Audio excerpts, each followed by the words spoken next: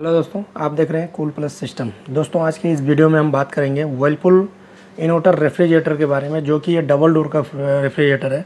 और इसमें डिफ्रोस्टिंग का प्रॉब्लम हो रहा है कस्टमर का कंप्लेन है कि नीचे के साइड में रेफ कंपार्टमेंट में कूलिंग नहीं हो रहा है और फ्रीजर कंपार्टमेंट में भी बिल्कुल ही हल्का कूलिंग है। तो हम आके इसको चेक किए तो इसमें डिफ्रोस्टिंग का प्रॉब्लम निकला। तो आज हम स्टेप बाय स्टेप हम इसमें, इसके अंदर के क्या क्या पार्ट आते हैं वो पार्ट को हम चेक करके आपको हम दिखाएँगे कि एक्चुअल में डिफ्रोस्टिंग का जब प्रॉब्लम आता है तो फॉल्ट क्या होता है। तो दोस्तों अगर आपने इस चैनल को सब्सक्राइब नहीं किया तो सब्सक्राइब करें बेल आइकन को प्रेस करें इससे आने वाली वीडियो का नोटिफिकेशन आपको जल्द से जल्द मिल सके।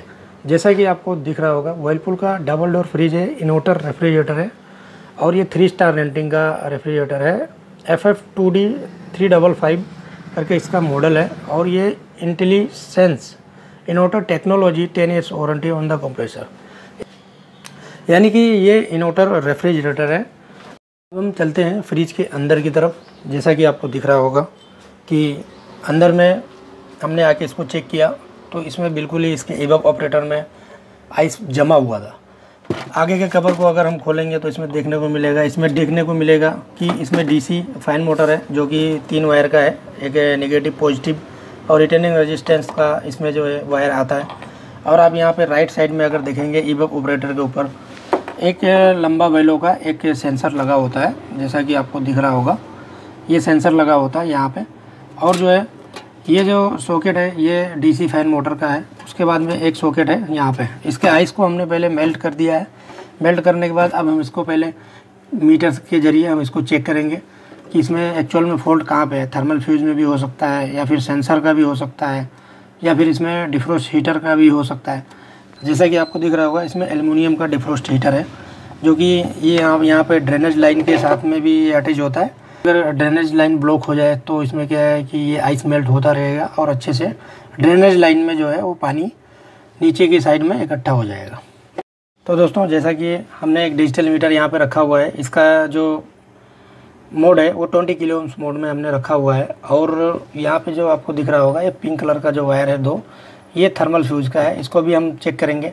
अगर थर्मल फ्यूज का भी प्रॉब्लम रहेगा तो भी डिफ्रोस्ट का ही प्रॉब्लम होगा।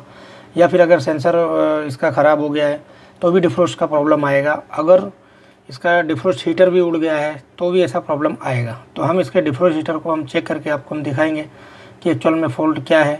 और हर एक पार्ट को हम चेक करेंगे। तो इसमें तीन ही, चार ही चीज़ होती है मोस्टली जैसा कि एक डीसी फ़ैन मोटर होता है और इसमें जो है थर्मल फ्यूज होता है और सेंसर होता है और डिफ्रोसीटर होता है। ये चार ही चीज़ होते हैं। तो जैसा कि आपको दिख रहा होगा, हमने इसको 20 किलो ओम्स मोड में रख दिया है। अब हम इसके पहले पहले थर्मल फ्यूज को हम पहले चेक करेंगे, उसको कंटिन्यूटी मोड में चेक करेंगे। जैसा कि हमको ये दिख रहा है, ये कंटिन्यूटी मोड हो गया। अब हम आपको चेक करके दिखाते हैं थर्मल फ्यूज को। जो पिंक कलर का है। जैसा कि आपको हमने इसको देखिए, यहाँ पे लगा दिया है, यानी कि ये थर्मल फ्यूज़ जो है वो बराबर है, हमारा कंटिन्यूटी शो कर रहा है। अगर ये कंटिन्यूटी शो नहीं करता है तो ये फ्यूज़ ख़राब है थर्मल फ्यूज़ जो है वो ख़राब हो गया। तो उसको आपको बदली करने की ज़रूरत पड़ेगी। ये थर्मल फ्यूज़ सही है तो हम इसको बदली नहीं करेंगे। अब हम इसको इसको हम वापस सॉकेट में लगा देते हैं। अभी इसमें जो सेंसर का अगर बात है, सेंसर जल्दी ख़राब नहीं होता है ऑयलफुल रेफ्रिजरेटर इन्वर्टर में, जो क्योंकि इसमें कोई ऐसा सॉकेट नहीं आता है कि आप इसको खोल के इसको चेक कर सकते हैं। अगर इसको चेक करना है तो इसके वायर को काट के इसके पॉइंट वैल्यू को आप चेक कर सकते हैं। तो अब हम इसको चेक नहीं करेंगे, हम इसके डायरेक्ट डिफ्रोज हीटर को चेक कर लेंगे। तो अब हम डिफ्रोज हीटर को चेक करने के लिए वापस इसको ट्वेंटी किलो ओम्स मोड में हमको रखना है। तो हमने इसको सेलेक्ट कर लिया है ट्वेंटी किलो ओम्स मोड में। अब हम इसको डिफ्रोस्ट हीटर को हम चेक करने के लिए जा रहे हैं। जैसा कि इसमें कोई भी रजिस्टेंस नहीं शो कर रहा है। अब हम वापस एक बार हम अपने किलोमीटर को चेक करेंगे कि हमारा किलोमीटर बराबर है कि नहीं। ये देखिए, ये यानी किलोमीटर बराबर है। अब हम इसको वापस चेक करेंगे। ये देखिए तो यानी कि ये डिफ्रोस्ट हीटर में कोई भी पॉइंट वैल्यू शो नहीं हो रहा है। किसी भी इसको सप्लाई दे रही थी, लेकिन इसमें डिफ्रोस्ट नहीं हो रहा था। अगर पीसीबी सही रहेगा डिफ्रोस्ट हीटर उड़ जाएगा, ख़राब हो जाएगा तो ऐसा ही फॉल्ट आएगा। पीसीबी सप्लाई देता रहेगा, लेकिन ये डिफ्रोस्ट नहीं होगा और जो है ज़्यादा से ज़्यादा इसमें आइस इवेप ऑपरेटर में बन जाएगा और रेप कंपार्टमेंट में कूलिंग बिल्कुल ही नहीं होगी। तो इस तरीके से आपको चेक करना है, जैसा कि इसमें पॉइंट लेवल नहीं शो कर रहा है। यानी कि ये हीटर ख़राब हो गया है। ये हीटर को आपको बदली करेंगे तो ये प्रॉब्लम बिल्कुल ही सॉल्व हो जाएगा। आपको सेंसर वगैरह इसमें डालने की ज़रूरत नहीं है, ना ही थर्मल फ्यूज ऐसा चेक करके आपको इसमें वर्क करना है और फिर ये प्रॉब्लम आपका सॉल्व हो जाएगा। जैसा कि आपको दिख रहा होगा सामने। अब हम इसमें नए हीटर को ला के इसमें इंस्टॉल करेंगे, इसमें डालेंगे। तो ये प्रॉब्लम जो है, वो प्रॉपर सही तरीके से हो जाएगा।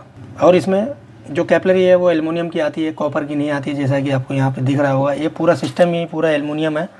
और खाली कंप्रेसर के पास ज़्यादा ज़्यादा आठ इंच आठ इंच के करीब जो है कॉपर पाइप लगा होता है, जो कि हम सोल्डिंग करने के लिए ब्रेजिंग करने के लिए वो रहता है। जैसा कि आपको हमने दिखाया कि इसके पार्ट को कैसे चेक कर सकते हैं और डिफ्रोस का प्रॉब्लम आता है तो क्या क्या आप चेक करें। तो आपको अगर ये वीडियो पसंद आए तो लाइक करें शेयर करें। साथ ही सब्सक्राइब करना ना भूलें। मिलते हैं नेक्स्ट वीडियो में।